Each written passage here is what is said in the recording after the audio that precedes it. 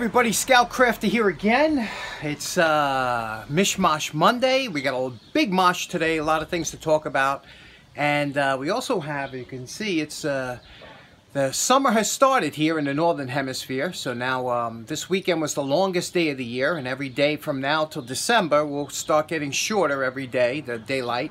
And um, like I said, we got a lot to get to, so let's get downstairs and start Okay, today. first off on today's mosh, I had to make a trip to the cemetery. You know, this weekend was Father's Day and whatnot, and, uh, you know, we have a few cemeteries here in Queens. I don't know if you uh, are familiar. And, you know, cemeteries are funny, aren't they? You know, they can re really vary in uh, size and scope and what they're like. And, you know, some are small little private cemeteries and other ones are big, large affairs.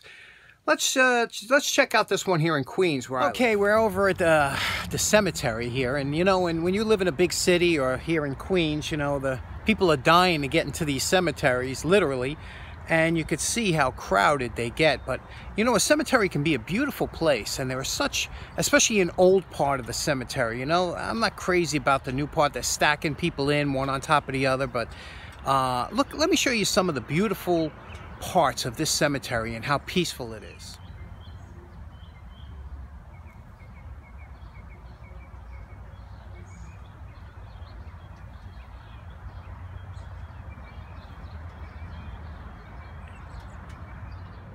You know, some beautiful statues like this one here. Just imagine when, you know, when that was made and how much that, and look at the difference in the gravestones. You know, they have these modern gravestones that are totally different, but look at some of these. And, you know, some of these gravestones like here, you know, grave markers are, they're almost uh, 10 feet high. Now, this particular cemetery is called St. Mary's. It's in, uh, like I said, this one's in Queens, and you can see, and they do a beautiful job of, of keeping the grounds up. And look at some of these old growth trees and things like that. You don't even see you know, in many areas. And a, and a lot of the trees in this cemetery were decimated uh, from some beetle that got here a while ago. But a lot of them, a lot of these trees are, are still maintained. And, and again, because they're so separate, they do grow really well.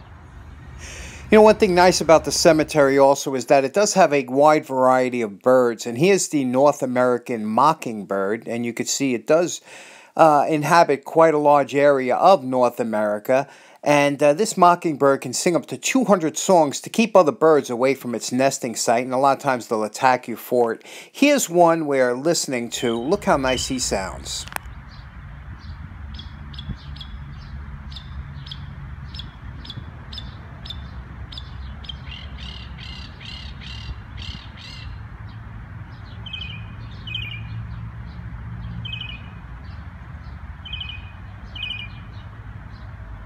Now, on the way home from the cemetery, I was uh, driving down. I passed a church. Uh, I didn't even know there was a church there. It's but it was an older church, and and in front of the church they were throwing out an organ, and uh, this is. You know, I always have to stop whenever I see something interesting in the trash. I have to check this organ out. Let me ask you a question. Would you have would you have picked this organ up? Would you have looked at it? I mean, it's pretty interesting, isn't okay, it? Okay, for today's tool project, we are down to the last Abe Elias tool of the ones he sent, and uh, let's get to it. It's a it's a pipe wrench. Let's see what we can do. Let's have some fun. okay, fun. this is the last of the tools that Abe sent over, and uh, this one here is a Gray Bonney. You can see here, Gray Bonney. It's made in Canada. We never ever see these here in the States. I haven't anyway. This is the first one I've ever seen. It's a standard uh, pipe wrench. You know, they're all very similar in design and make. And you can see here, this one was, you know, painted. Uh, this is, I guess, the original factory paint. You could see how this is uh, done up. You could see they even painted the they painted the knurl. You know, it's it's this could be a pretty wrench, but right now it's just a plain. You wouldn't even look at it, right? So let's see what we can do. Let's have some fun with this uh, because uh, that's what we do here.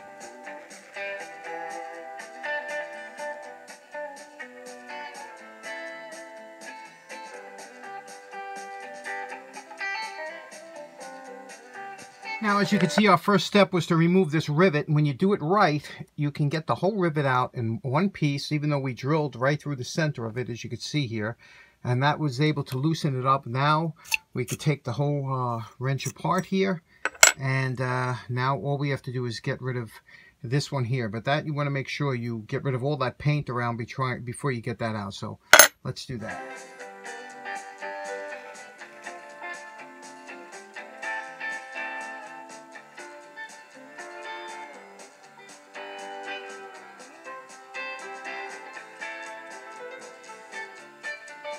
Just after the paint stripper. You can see what that does. I love when they paint tools because that preserves the tool. So it is all preserved. Now we're going to take it to the wire brush.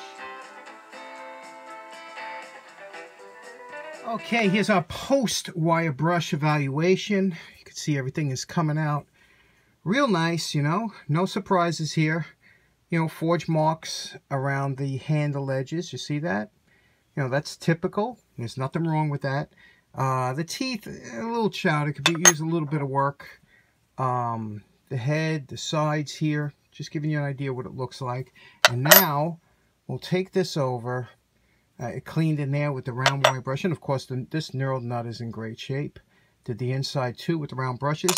Now we're going to make it real nice. You see the original grind marks here from the from they just ran it through real quick. And lastly this always here this part here that the back or belly of a wrench always is something that you you'd notice. See that see what that looks like there? Take a good look at that because this really will make or break a you know a restoration on how that looks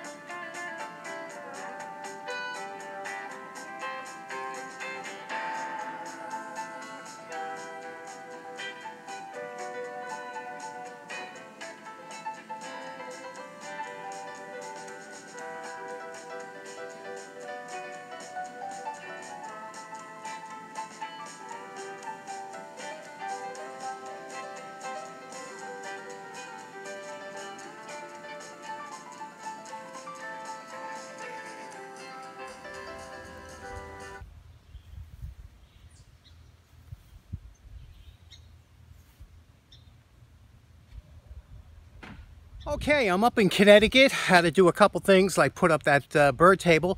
But I wanted to show you something. I'm up at the uh, an abandoned Christmas tree farm. This thing's been for sale for quite a while, and um, it's a it's a few acres of what used to be a Christmas tree farm. Let me show you some of these trees that uh, what happens to a Christmas tree farm when they just let it go. Okay, so these were the Christmas trees. Remember, they're usually about six foot or eight foot or something. This what happens when you let them go for years and years without any kind of maintenance.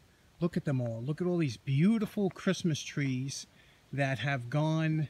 Look at this huge, beautiful Christmas trees that now, because they haven't been cut down, you know, they just overgrew. And then other things came in. and But I always love this place. You see, if you look above here, you see all them on the top? Those are all like beautiful, what used to be Christmas trees. And I, this is what I was thinking I might want to do on my property is put some Christmas trees or something up there. Uh, you got to be careful. This is big tick area here. This is where the Lyme disease started. So you always got to be careful. But I always get a, a kick out. Look at, look at all these beautiful, what used to be Christmas trees. And look, look what happens if you just let them go. Isn't that something? I love, I love, you know, I love pine trees, but this is some area, isn't it? Now you know my favorite part. Remember what this wrench looked like before we started. And we're calling this project done. Wow. This one came out great, didn't it? Look how classic that looks. I know. I know Abe's color is blue, but this thing was just screaming for some Scout Crafter red. Look at that. Filled in the letters there, filled in there, filled in here, filled in up here. Uh, everything is just silky smooth, you know. I mean, the way it uh, it really should be. And it's, uh, look, remember the handle was all messed up and on both sides with the forging lines. And remember this. Now, you remember here what I was telling you about uh, the back, how that makes a huge difference, right? Look at that. And that's uh, same with the top here. makes always a big difference. Just a, a lovely wrench. Did the, you know, replace the rivets with uh, two screws and, you know, how we do that uh, threaded tube in there. And uh, just a lovely wrench. And I think this is a perfect end to the five wrenches that Abe sent over. Now, these are the original five tools that Abe sent over months ago, and uh, we just got to them. And here are the five wrenches or five tools that Abe sent over, all done. I'll be uh, wrapping these up, sending them back and uh, it was a fun project. Just goes to show you why this hobby is so great. You can take tools that, you know, they don't have to be great tools, but you can have a, a, lot of fun and you can really, I told you if you do one a month at the, you know, at the end of the year, you got 12 tools that are all restored. So it, it's a lot of fun, this hobby. Everybody should get into it. Okay, this was uh, quite a mosh, wasn't it? We've been all over the place today. I enjoyed this one. Um, in closing, I have one other thing to talk about, and that is uh, every once in a while, you know, you find somebody on uh, YouTube and you get in on what I like to call the ground floor. You know, when you subscribe when nobody else really heard of them yet, but then they become big, but you were one of the first subscribers. Well, I have a channel that I found that I I uh, I think it's going to go pretty big, and uh, I want you to get in on the ground floor.